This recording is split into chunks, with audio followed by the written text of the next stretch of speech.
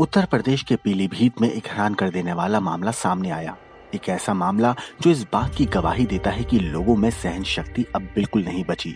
पूरी वारदात पीलीभीत के गजरौला थाने की है, जहाँ की रहने वाली 31 साल की महिला ने अपने पति और ससुराल वालों पर संगीन आरोप लगाए हैं। दरअसल कहानी तब शुरू हुई जब शुक्रवार को महिला का पति खाना खा रहा था। इसी दौरान खाने में एक बाल निकल आया।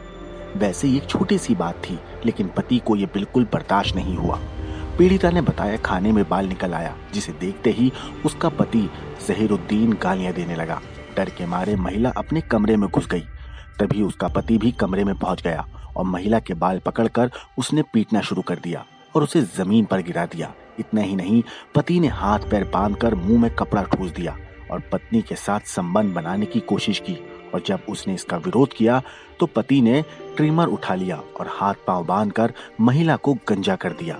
साथ ही जब उसका पति ये हैवानियत कर रहा था, तब महिला के ससुराल के लोग, जिसमें उसके सास और देवर भी शामिल हैं, वो वहाँ मौजूद थे।